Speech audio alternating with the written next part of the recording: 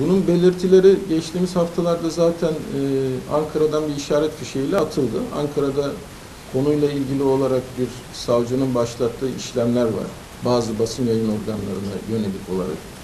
Bu tamamıyla seçimlerin demokratik bir ortamda yapılmasını engellemeye yönelik ve Türkiye'de tam demokrasinin yerleşmesini önlemeye yönelik bir girişim olarak düşünüyorum.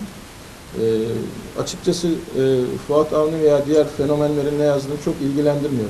Ama işin içerisinde bir uygulama var bahsettiğiniz gibi. E, örneğin e, Bankasya'ya haksız ve hukuksuz şekilde el konulması. Yani işin finans boyutunu da e, aştı bu iş. Türkiye'ye gelecek olan yatırımcıların güvenini de sarstı. Ama her şeyden önemlisi seçim güvenliği şu anda tehdit ediliyor. E, bu doğrultuda e, hükümete ve Yüksek Seçim Kurulu'na çok büyük görev düşüyor. Ama biz tabii e, hırsızı kadıya mı şikayet ediyoruz diye de aklıma gelmiyor değil. Şimdiye kadar bütün seçim sonuçlarını e, bizler de Milliyetçi Hareket Partisi'nde değişik kurum ve ajanslardan hep takip ettik ama Cihan Haber Ajansı bahsettiğiniz gibi en hızlı sonuçları alan ve Türkiye çapında bunu ileten bir kurum olmuştu.